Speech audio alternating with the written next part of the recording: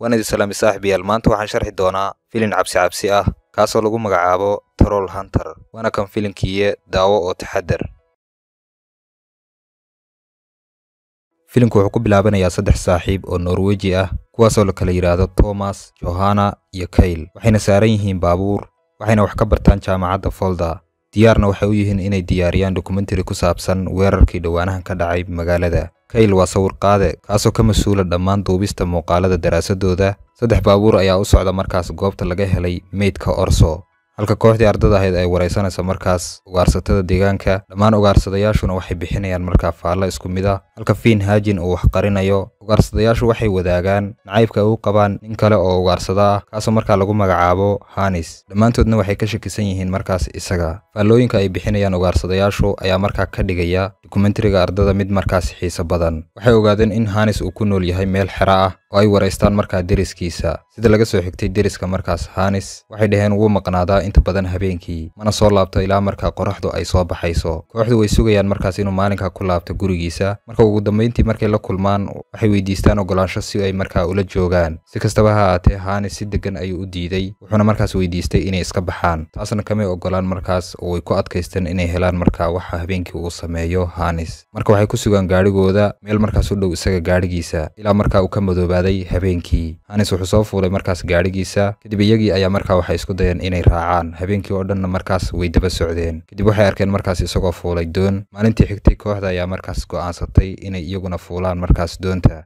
markay gaadheen meeshii ay u socdeen ayay markaas haddana isu raaceen hudheel ugu dambayntii habeenkii waxay arkeen markaas isagoo fuulaya gaarigiisa oo markaas kaxaysanaya. Saddexdooduba waxay og yihiin tani inay tahay markaas fursad. Ay marka ku ogaan karaan waxa uu markaas habeenkii sameeyo. Si kastaba ha ahaatee waxay waayeen markaas isaga kadib markay gaaraan albaab sheegaya in gelitaanka dheeraadka markaas uu mamnuuc ka yahay. Laakiin calaamadda markaa meesha ku taalla kama joojinaysa iyaga. Kadib waxay samaynayaan markaas inay iska furaan iyagoo markaas og in hanis markaa uu halkan joogo. Waxayna gaadheen kayn markaas mugdi ah oo xasiloon waxayna ka soo degeen markaas gaarigooda si markaa ay u raadiyaan ugaarsadaha. Kayntan degan ee yaab kale ayaa markaas dejisay kooxda si lama filaana qaylo dheer ayaa markaa la maqlay iyo iftiin dhalaalaya. Kooxdu way barfeen calashaan way baqeen aad ayayna uga baqayaan markaas inay eegaan waxa ay yihiin isla markiiba hanis oo argagaxsan ayaa si deggan markaas ugu yimid wuxuuna weydiistay inay cararaan. Kooxda ayaa markaa bilowday inay ordaan iyagoo markaasaan wax su'aala weydiin. Cid aan la garanayn ayaa markaa daba socota. Si kastaba ha haatee ardadu markaas ma garanayso. Qofka aan la garanayn wuxuu ku dhowaaday markaas inuu qaato thomas oo markaas isagu ku sii jeeday hawsha. Laakiin nasiib wanaag kooxdu markaas waxay awoodaan inay ku cararaan gaadhiga markaas hanis hanisna wuu aamusnaa markaa intii safarka lagu jiray laakiin si la yaab leh ayuu markaas u aqbalay. Markii ay kooxdu ka codsatay in markaas ay kula soo biiraan ugaarsiga wuxuuna markaa u sharaxay in ciddii hadda baacsanaysay ay ahayd markaas khuraafaad ama makhluuq khuraafaad ah kaasoo markaa loo yaqaano trolos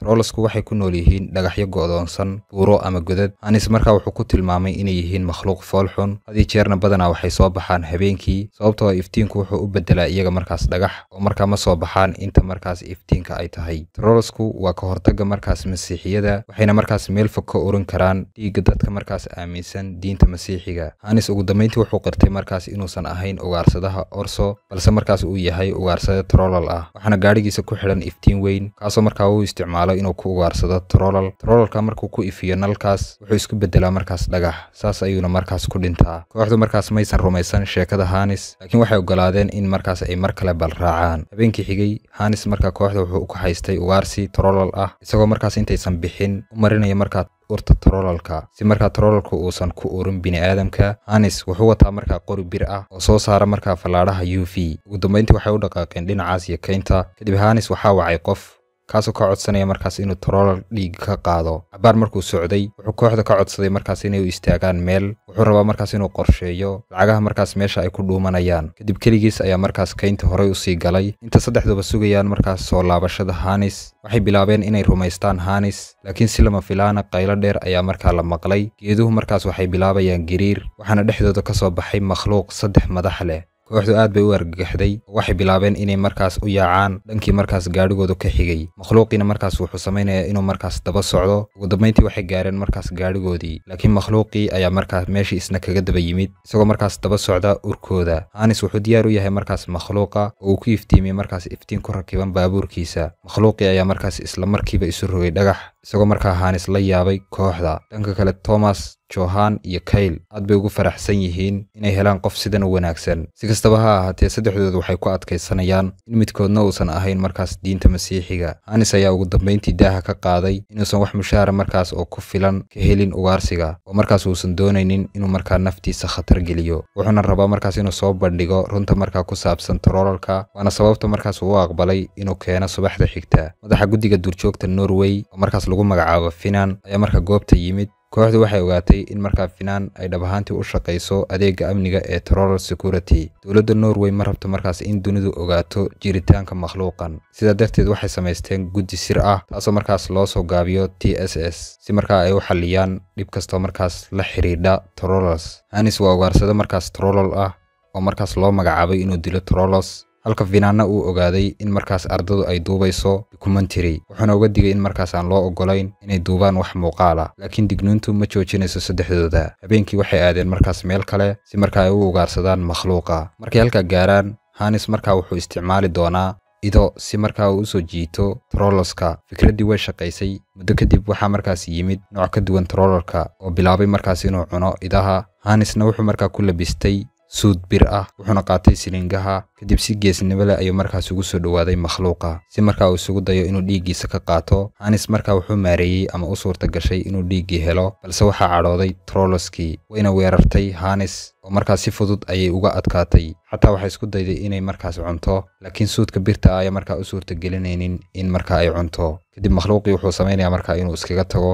Hanisna markaa wuxuu u egyahay sidii qof markaa dhintay saddexdii qof ayaa markaas u yimaaday hanis oo markaas isku dayay inay caawiyaan. Kadib markay caawiyeen hanis si toosa ayuu markaas u abbaaray troloskii oo markaas uu dilay isagoo markaa ku ifinaya nalkiisii. Maalintii xigtay waxay qaadeen shaybaarkii dhiigga si markaa loo baaro dhiigga trololska oo ay markaas u ogaadaan natiijada. Kadib kooxda ayaa mar kale haddana u soo baxday howlgal kale waxayna gaadheen markaas meel dayacan. Laakiin ka hor intaysan ka bixin miinadda qoys ka tirsan markaa troloska ayaa soo galay iyagoo markaas jid gooyey. Meeshii markaa kooxdu ay mari lahayd kooxdu aad bay u argagaxsan tahay gaar ahaan sawirqaada kayl kaasoo cabsi darteed markaas la gariiraya wuxuuna qirtay markaas inuu aaminsan yahay diinta kiristanka isagoo markaa kooxda ka dhigaya kuwo markaa aad u walaacsan. Dhanka kale troloskii wuxuu helay ur kale oo waxay weerareen markaas kooxdii. Kooxduna waxay adeegsanaysaa markaa nalalka u v-ga si markaa ay si uun uga soo baxaan miinadan. Kayl oo markaa sawirqaadihii ahaa waxaa markaa jiitay makhluuqii thomas iyo johan waxay fadhiisteen markaa dhulka mana awoodaan inay markaas maareeyaan geerida saaxiibkood. Waxayna qaateen markaas kaamaradiisii jabtay. Maalmo kadib waxay shaqaalaysiinayaan sawirqaado muslin ah oo markaasaan hubin qaabka markaa makhluuqaasi uga falcelinaya ortiisa fainan mar kale ayuu markaas isna u yeedhay hanes si uu ugu xilsaaro howl uu ku dilo trolos kaasoo markaas u jira konton ilaa boqol mitir. Hanis wuxuu og yahay in troloskani uu noqon doono kan ugu adag. Saas awgeed wuxuu sameeyey in markaa uu ku cusboonaysiiyo